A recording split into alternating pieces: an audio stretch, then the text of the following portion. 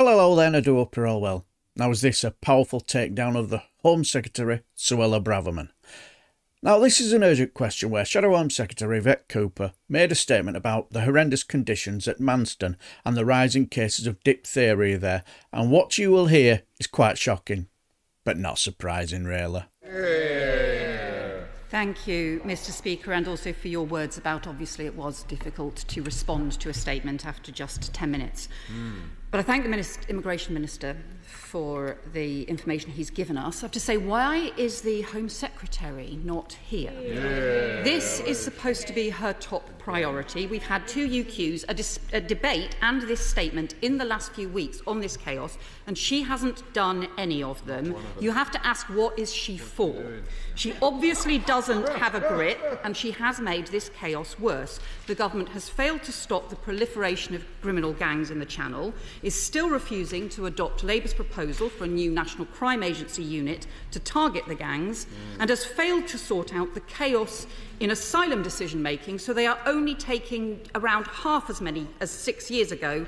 Uh, even though they have more staff, and just 2% of last year's small boat cases have been decided, creating a backlog of nearly 100,000 people waiting more than six months for a decision compared to just 4,000 when they took office, all of which has led to a completely inappropriate use of hotels at the last minute with no proper information for local councils and no proper information for public health officials. And then, of course, the chaotic handling of the situation at Manston. The information that the Minister has just given us is that there are 50 diphtheria cases. Can he confirm that that compares to just three last year Can you tell us when ministers were first told of diphtheria cases at Manston? When were they warned? By mid October, the Home Office admitted publicly that there were cases at Manston, but on the 26th of October, the Home Office officials told the Select Committee they had sufficient health arrangements in place to address diphtheria. Clearly, they did not. Mm. The government still kept thousands of people in overcrowded conditions, described by one person as being huddled around fan heaters, thousands of people in overcrowded conditions trying to stay warm. Clearly, these are conditions which make it easy for infectious diseases to spread.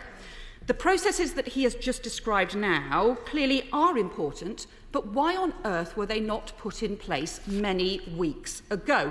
It took until 11th, the 11th of November, after thousands of people had been held there for weeks, in Manston for weeks, for screening and vaccinations on diphtheria to be recommended for everyone passing through Manston. What on earth were they doing in the meantime?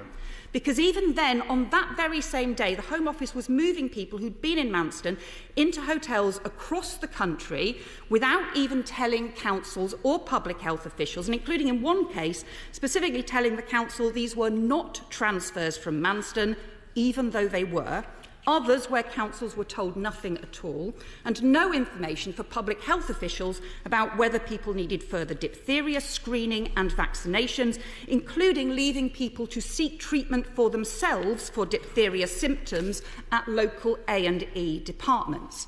The Health Secretary has said that 500 people have now been screened and vaccinated. What about the other several thousand people who have been in Manston, wherever they now are in the country, have they been screened or vaccinated for diphtheria as well?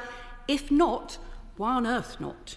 Because that was the public health recommendation nearly three weeks ago, and that was already late. Have all those with possible symptoms now been given precautionary antibiotics? Again, If not, why not? We're told diphtheria is an easy infection to treat and to vaccinate against, which is why we have a universal vaccination policy in the UK. But that needs proper information for health officials to be able to use, and it needs the Home Office to get a grip. Mm. Clearly, the government has ignored health advice and it's also ignored legal advice. The business secretary said publicly that when he was, health, health, was Home Office Minister, he was advised he had to act as he was breaking the law. Mm. The permanent secretary has said now the Home Secretary was given the same legal advice. So why didn't she act, either on the legal advice or on the health advice. I'm sure the Immigration Minister is working really hard to try and sort this out. The problem is that everyone else is struggling to clear up the Home Secretary's chaos, and she isn't even here. It is chaotic. This issue is too important not to have a grip in place, and if the Home Secretary is too frit to attend this House and take responsibility for her decisions, she should get out the way and let someone else do the job.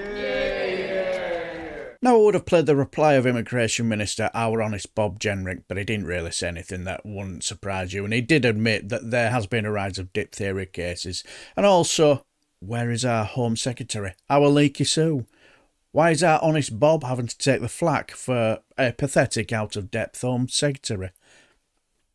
She's, she's absolutely useless, isn't she?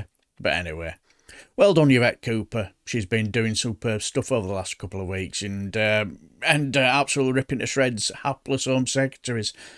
Well, the last few, but let's be honest, it's not a great achievement, is it, given the ranking incompetency of them? But anyway, leave your comments below and um, I shall bid you farewell and um, take care.